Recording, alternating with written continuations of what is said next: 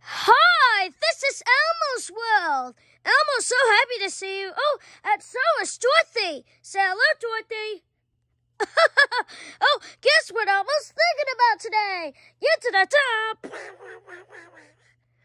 It must be a tree. You know.